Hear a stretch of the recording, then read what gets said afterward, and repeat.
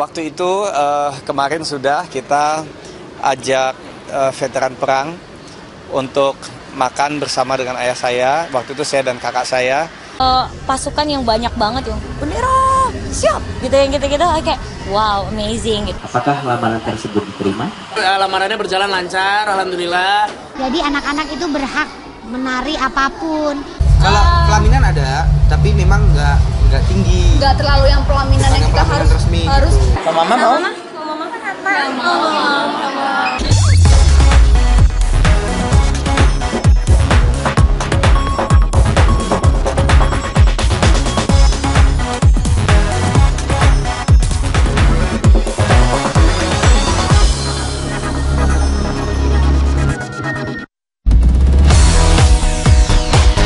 Peringatan HUT RI yang jatuh pada tanggal 17 Agustus tentu mempunyai makna yang dalam bagi bangsa Indonesia. Proklamasi kemerdekaan Republik Indonesia 71 tahun silam merupakan pencapaian titik puncak perjuangan bangsa Indonesia menuju ke gerbang kebebasan. Keberhasilan bangsa Indonesia terbebas dari penindasan asing tak lepas dari peran para pahlawan serta pelaku sejarah.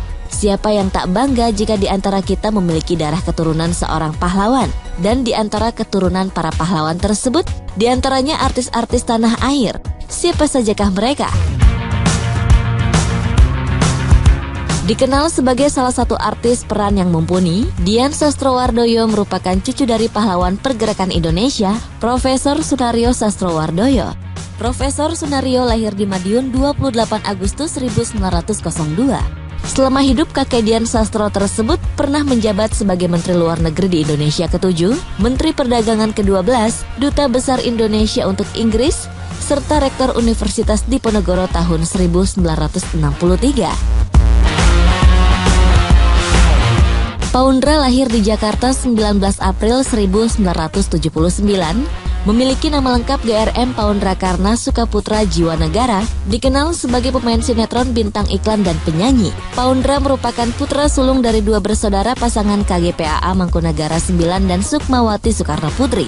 Dengan begitu, Paundra merupakan cucu dari proklamator RI Presiden pertama Indonesia Soekarno, sekaligus putra mahkota Keraton Solo.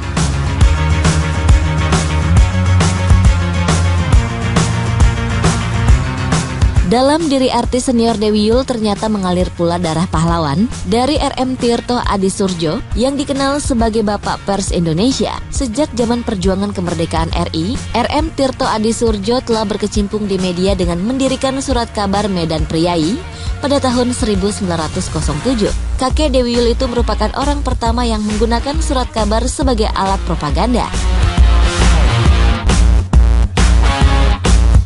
Nia Dinata dikenal sebagai salah satu sutradara wanita Indonesia, merupakan anak dari Diki Iskandar Dinata, sekaligus cucu dari pahlawan nasional Raden Oto Iskandar Dinata yang berjuluk si Jalak Harupat. Oto merupakan anggota BPUPKI dan PPKI pada awal kemerdekaan Indonesia.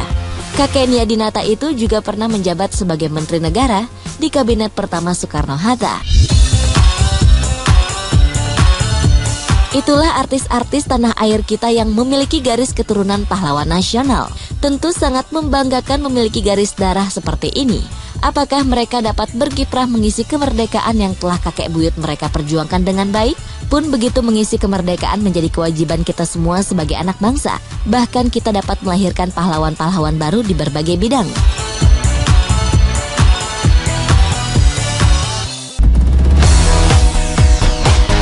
Peringatan HUT RI yang jatuh pada tanggal 17 Agustus tentu mempunyai makna yang dalam bagi bangsa Indonesia.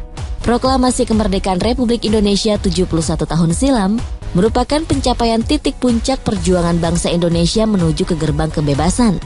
Keberhasilan bangsa Indonesia terbebas dari penindasan asing tak lepas dari peran para pahlawan serta pelaku sejarah.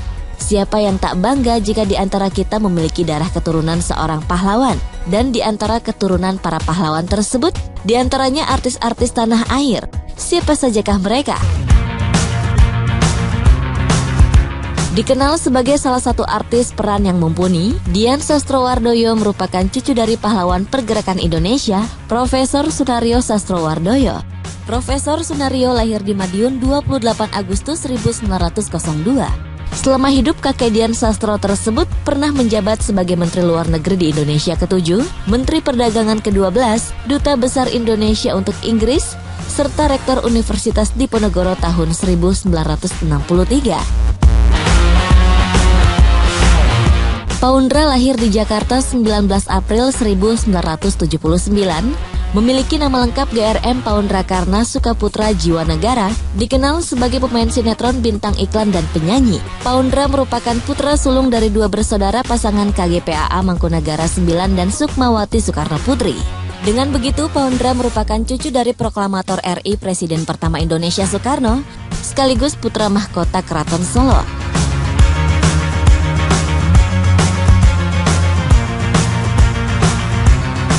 Dalam diri artis senior Dewi Yul ternyata mengalir pula darah pahlawan dari RM Tirto Adi Surjo yang dikenal sebagai Bapak Pers Indonesia. Sejak zaman perjuangan kemerdekaan RI, RM Tirto Adi Surjo telah berkecimpung di media dengan mendirikan surat kabar Medan Priai pada tahun 1907.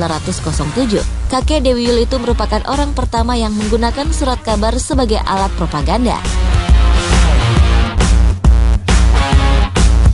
Nia Dinat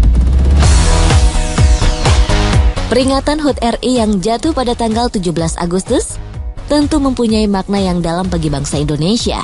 Proklamasi kemerdekaan Republik Indonesia 71 tahun silam merupakan pencapaian titik puncak perjuangan bangsa Indonesia menuju ke gerbang kebebasan. Keberhasilan bangsa Indonesia terbebas dari penindasan asing tak lepas dari peran para pahlawan serta pelaku sejarah. Siapa yang tak bangga jika di antara kita memiliki darah keturunan seorang pahlawan? Dan di antara keturunan para pahlawan tersebut, di antaranya artis-artis tanah air. Siapa sajakah mereka?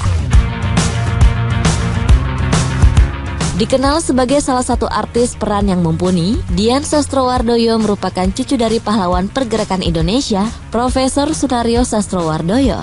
Profesor Sunario lahir di Madiun 28 Agustus 1902. Selama hidup kakek Dian Sastro tersebut pernah menjabat sebagai Menteri Luar Negeri di Indonesia ke-7, Menteri Perdagangan ke-12, Duta Besar Indonesia untuk Inggris, serta Rektor Universitas Diponegoro tahun 1963.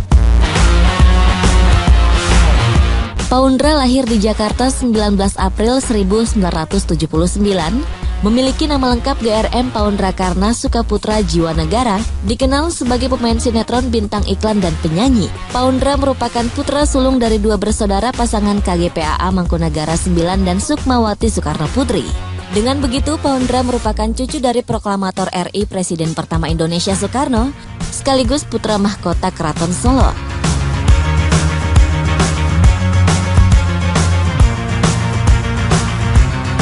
Dalam diri artis senior Dewi Yul ternyata mengalir pula darah pahlawan dari RM Tirto Adi Surjo yang dikenal sebagai Bapak Pers Indonesia. Sejak zaman perjuangan kemerdekaan RI, RM Tirto Adi Surjo telah berkecimpung di media dengan mendirikan surat kabar Medan Priai pada tahun 1907.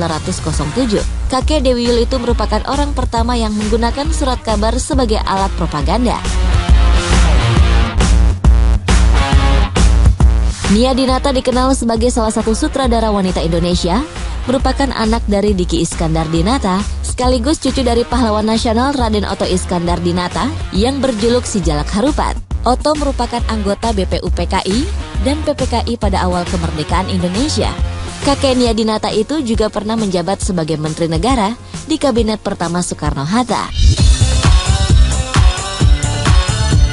Itulah artis-artis tanah air kita yang memiliki garis keturunan pahlawan nasional. Tentu sangat membanggakan memiliki garis darah seperti ini.